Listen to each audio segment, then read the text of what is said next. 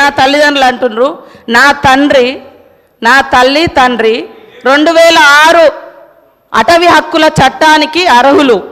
వాళ్ళు ఎక్కడ దానం తీసుకోవాలి? ఒక ఆదివాసీ బిడ్డలుగా ఆదివాసీ బిడ్డలుగా పోడు కొట్టుకుంటే పది ఎకరాల వరకు హక్కు సోనియమ్మ పెట్టినటువంటి చట్టం.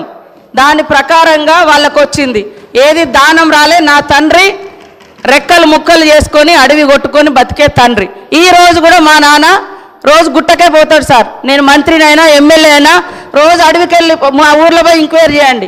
కాబట్టి ఏది పు- రాలే చట్ట ప్రకారం వచ్చినటువంటి హక్కు.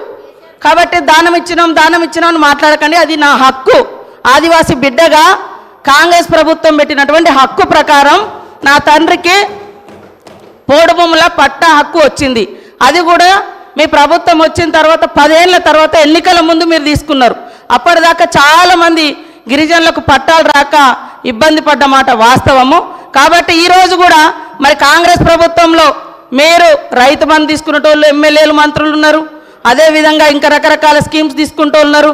అంటే ఒక ఆదివాసీని అయినందుకేనా సార్? పదే పదే పదే పదే ఈ ఎమ్మెల్యే తల్లిదండ్రులకు ఇచ్చినాం ఈ ఎమ్మెల్యే తల్లిదండ్రులకు ఇచ్చినామని చెప్తారు. అది నా హక్కు. నేను ఎమ్మెల్యే కాకముందు నుంచి కూడా నా తండ్రి నా తల్లి అడవిని ఆధారంగా చేసుకొని బతికే కుటుంబాలు మావి. కాబట్టి ఆ క్రమంలో వచ్చినటువంటి తప్ప అది పుణ్యానికి దానంగా రాలే. అందుకనే ఇంకోసారి ఇక్కడనటువంటి ఎమ్మెల్యేలు కూడా మా- మాజీ మంత్రులు కూడా మరి ఈ రాష్ట్రంలో రైతు బంధు ఎందుకు తీసుకున్నారు?